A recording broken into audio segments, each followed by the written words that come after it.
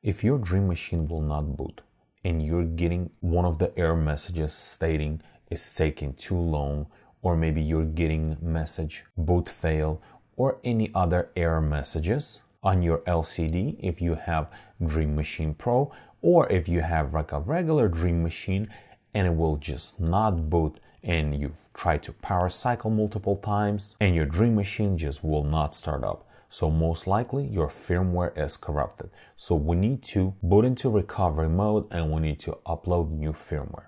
So first thing we need to do, we need to open our internet browser and go to this website and I'll put link in the description below. And if you have Dream Machine Pro, you can just download this file. Right here, we need to click on accept. And then I'm just gonna click on download file. You can just copy URL and paste it in your web browser.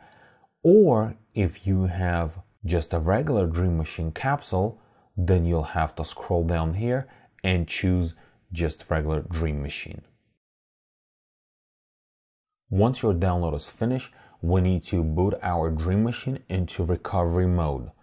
And on a Dream Machine Pro and on a regular Dream Machine, it's basically same way. First, you have to turn off your device, then press on reset button, then plug your device back into the power, wait from 5 to 10 seconds, and then it will boot into recovery mode. Press on a power button. If you have Dream Machine Pro, you'll have to use a paper clip, and if you have regular Dream Machine, on the bottom of the base, there is just a button. Press on it and hold. And at the same time, plug in your power and hold for about 5 to 10 seconds and then you can let go the reset button.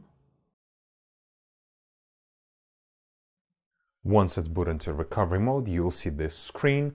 And if you are using just a regular Dream Machine, you'll just have to remember that recovery mode IP address is this one right here, 192.168.1.30. Plug in your laptop or your desktop into the Dream Machine. And then on your computer, press on start and then click on this little gear, go to settings, and then in settings, click on network and internet. Then in here, choose ethernet, and then press on change adapter options. Then in here, choose your adapter, right click on it, and then click on properties, and then choose IPv4, and then click on properties. And now we'll have to set up static IP address. Just type in here 192.168 dot one and I'm just gonna use dot 11 and then press tab leave the subnet mask and then press OK and then close. Then we can minimize this window and we can minimize this one. And right here we need to type that recovery IP address the one that we saw on our LCD screen. And if you have just a regular dream machine just type 192.168.1.30 and then press enter and then it will take you to this page. This is going to be recovery mode. And then right here, there's a couple options we can do. We can reset to factory default, reboot, power off, check file system. What I'm going to do, firmware update. I'm going to click on choose. And then in here, I'm going to navigate to downloads and then, then downloads. I'm going to choose that file, the one that I just downloaded, that bin file. And then I'm going to click on open. It's gonna upload and then it's gonna update my dream machine to that specific firmware, the one that I just uploaded. And that theoretically should fix your error issues or your boot issues on a startup. So I'm gonna wait a few minutes. And if you have a Dream Machine Pro, you can see on your little LCD screen that your Dream Machine is updating.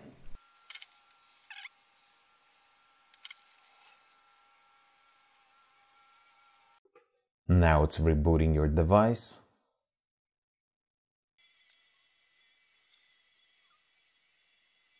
Once your system fully reboots, in your web browser, just type 192.168.1.1 and then press enter because this is Dream Machine default IP address and hopefully that firmware update or reinstalling firmware fix your booting problem and now you can boot in your dream machine and set up and use it again. If this video was helpful to you, press that like button and don't forget to subscribe. Thanks for watching.